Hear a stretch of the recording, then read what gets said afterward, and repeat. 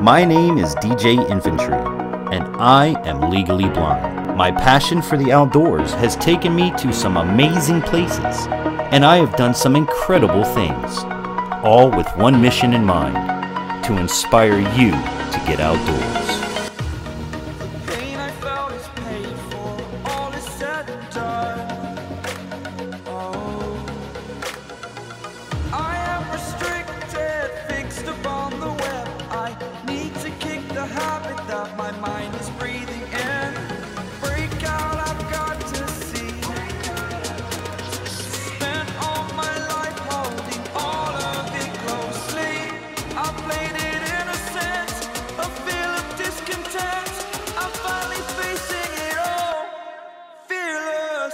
Welcome to Infantry Outdoors.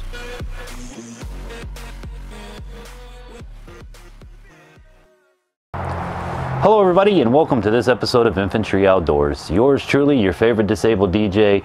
DJ Infantry, welcoming you to this week's program. And I hope that wherever you are around the world, you're having an amazing day. On today's program, we've got a fun and exciting project and lined up for you guys. It's something I, I started doing yesterday, uh, and we're going to continue on into today. Now, for those who don't follow me on Instagram, or Facebook or other social medias, be sure to follow us across all social media. Um, I posted yesterday what I was doing, got a lot of positive feedback, gave a preview of it in the live stream, which, by the way, we live stream every Friday from 10 p.m. to You Say When on Facebook Live and YouTube. So, with two platforms, there's no reason you can't tune in. So, getting into today's episode, which is sponsored by our friends at Silver Connections Group for all of your multimedia needs, and of course our friends at Water Purification Products, link down below for you guys to check out. Uh, be sure to use promo code INFANTRY with both businesses, and you'll unlock additional savings when you use our name. So, here's what we're doing today, guys. As you know, I've been doing the squirrel hunting, and I've been using my Gamo pellet rifle, right? So as you can see against me, it really does stand out. So what I wanted to do was camo my rifle. Um, what I did do yesterday was I camoed one of my other Gamos. And I think it came out really good. What do you guys think? Leave comments below. All right, all I did is I went to the store and I bought some spray paint and I got creative. You know, there's still blacks in here, there's still browns. Now it patterns better with what the environment is. So today we're gonna take this Gamo and make it look like this one. So the first thing that we're gonna do is we're going to take off our Commander NV100, set that to the side. And I want to set this out of the range of anything in my work area because anything here can get paint on it. Very next thing, you're going to want some blue painter's tape or some kind of painter's tape, and we're going to tape off everything we don't want to spray paint. Um, for example, your rifle scope lens, your, uh, in my case, my magazine for my pellets, So we're gonna take a piece of tape. Now I'm gonna leave the mag in and just tape over the mag because this part, as far as I'm concerned, can stay black. So just simply go like that, cover it up so that you don't get paint on anything that you don't want to get paint on.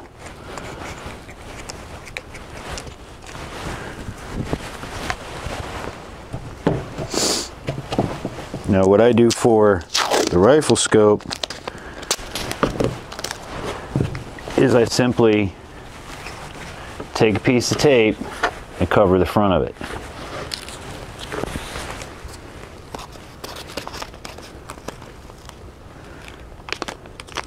And in my case, I'm going to need two pieces of tape. Now don't fold it over, just get it to stick on the rim. Okay, just like that. I'm gonna do the same thing to the other side.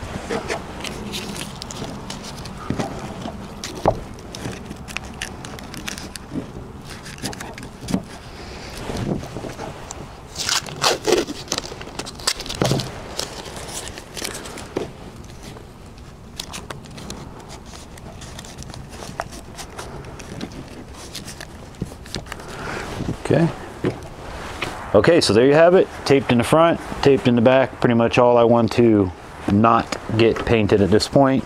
So now we're going to put our rifle down here and we're going to get to painting. So the first thing I started with on the other rifle is khaki, a lighter color because this is a black rifle. Obviously, I'm going to start with a lighter color being khaki in this case because I'm painting on a black rifle. Now, I want these other darker colors to stand out as well. So we're going to coat most of this rifle in the khaki color. But remember that I do also want some of the black to shine through too as well. So we're, you know, it's kind of one of those things where you just, what I did, okay, uh, and you guys at home, everybody's going to have their own preference. I'm probably going to get killed in the comments. This is my second rifle ever doing this. Keep that in mind. So I kind of just went like this.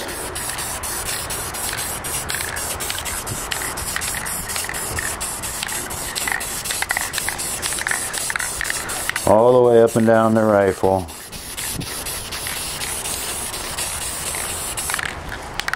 And then getting a little closer in some areas, getting farther.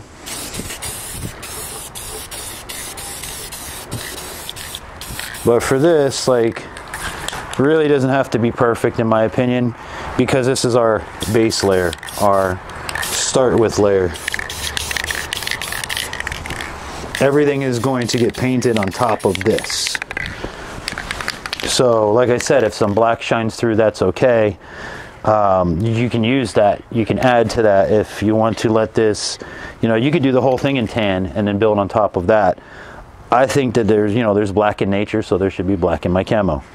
So we're gonna let this sit and dry for a few minutes and I'll come back to you guys when we do the second coat of this tan and then we'll move through the other colors. So if you're enjoying the video, please give it a thumbs up. I hope that you consider subscribing, become part of the family because as of this video, 75% of you guys are not subscribed and it would really help us out if you subscribe to the channel. And also don't forget to catch our live streams every Friday from 10 p.m. to You Say When here on YouTube and Facebook Live. We'll be back in just a minute. Okay, so as you guys can see from our base coat, we've got a pretty good start. I'm gonna touch it up just a little bit more um, because again, I don't want too much of the tan. Uh, I just want the tan to be the base for the other colors to, you know, stick to. So just again, randomly just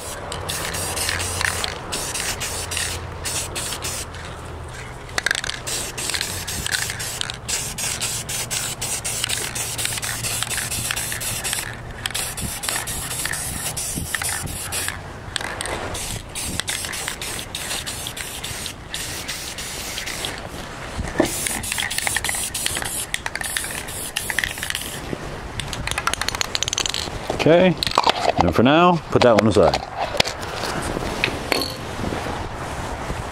Now what I like to do is while the paint is still tacky, go out in your yard and collect different size leaves. You can use sticks, you can use grass. Uh, these are gonna be your stencils for what comes next, or at least what I do next. Um, everybody's different. I'm sure everybody has their own ways and methods of doing this. This is what I came up with, and I think it looked good enough for what I need to do. It breaks the pattern of the black rifle in the woods.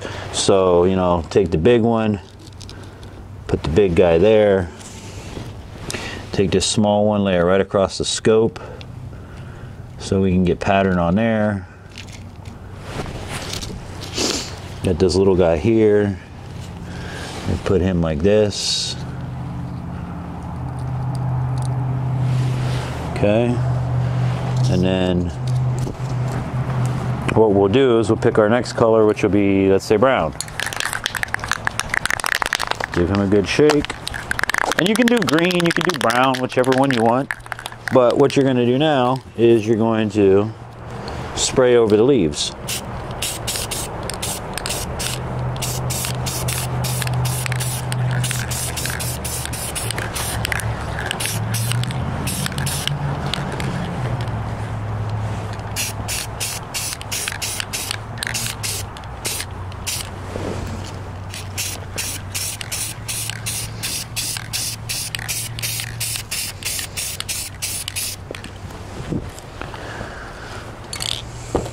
really cool is when we move these leaves now,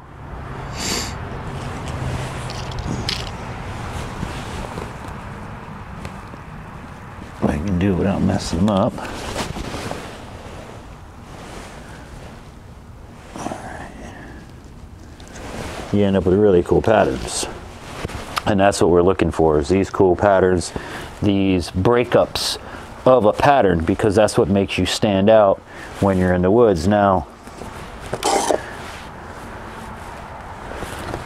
now the other thing I like to do, we did that up here, we got to do some brown to the barrel. So really it's just, and that's really all I do. And then let that sit. We're done with, in my case, I'm pretty much done with the brown on that. As you guys can see, I got enough of it. So put that to the side. Then the next will be green. Now this green I go light on because it is a it's a forest green, but it's it's kind of a bright green. So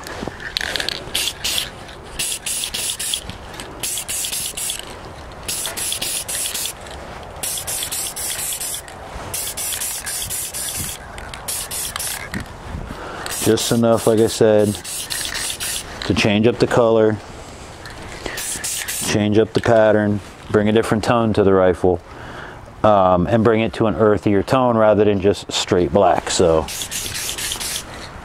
and again, if you guys do this a different way, to each his own because it's camo. You know, as long as you break up the pattern, that's pretty much all that matters. Um, you know, the military does theirs differently. Everybody does, you know, has their own pattern. Mossy Oak has their own pattern. Reach Real Tree has their own pattern.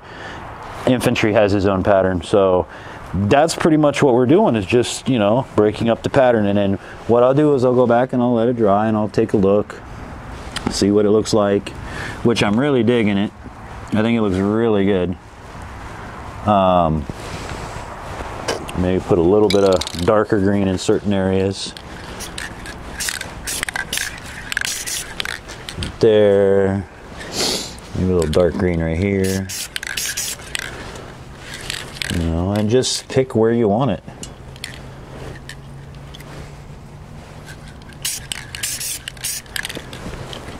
You know, it's like art, you know, nothing says it's correct. So, what I'll do now, I'll let this dry completely, flip it over, and repeat the process. I'm pretty much happy with this, guys. And what I'll do is I'll bring you in for a close up of, of how this looks here so that you can take a look for yourself. Stay tuned.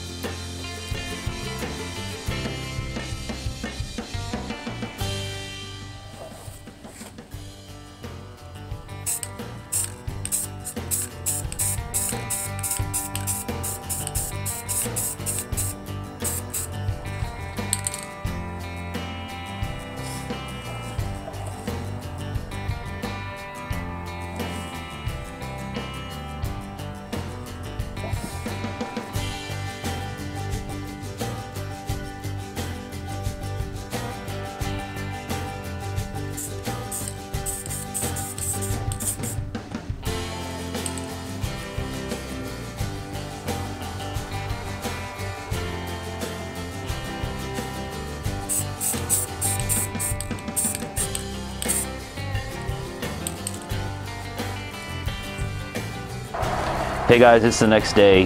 The light and the weather just got the best of us. It was raining last night, got cold last night. As you can tell, I'm more bundled up today than I was yesterday. Um, but we got it done. And I actually wanted to start off by showing you this first rifle that I did right here, my Gamo Whisper. Um, I did this one first as a uh, tryout, you know. I wanted to do this one in case I screwed it up. I knew what I was doing by the second one, but this one actually came out really, really good as well. And here I'll let you take a close-up look at this rifle right here, the Gamo Whisper.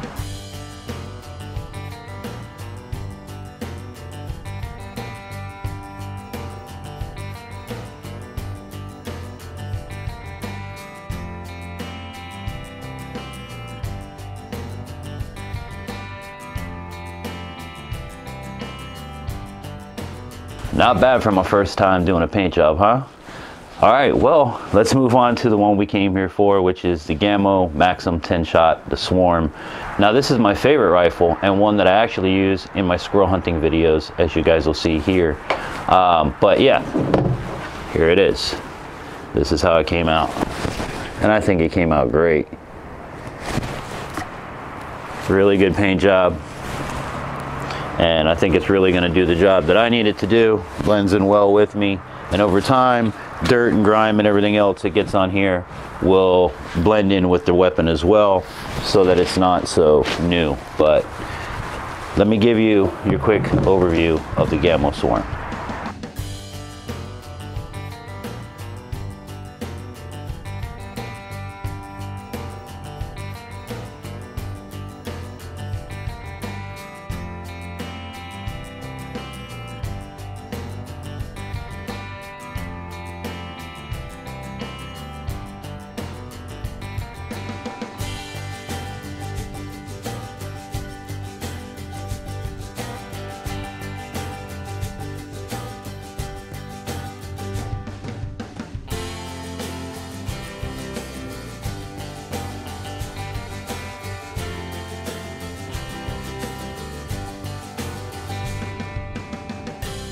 All right, well, there they are in a side-by-side comparison. Which one did you like better, or did you like them both? I think I did a pretty damn good job on both of these rifles, given my talents, given my abilities, and just being the first time doing it.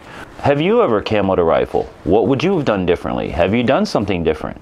Drop it in the comments below or remember to write to me at infantry at infantryoutdoors.com. Guys, I hope you enjoyed this video. If you did, please give it a thumbs up and make sure that you hit the subscribe button because as of this video, 72% of you guys are not subscribed. I don't know why, it's free to do. Just click the button, ring the bell, and you'll be notified each and every time we put out a video and do a live stream. Join us Friday nights at 10 p.m. here on YouTube for Infantry Outdoors Live. And until next time, I hope you guys enjoyed this product. Hope you enjoyed my camo paint job, my little one-of-a-kind art pieces. But until then, I hope that this and all my adventures inspires you to get outdoors. Have an amazing day, everybody.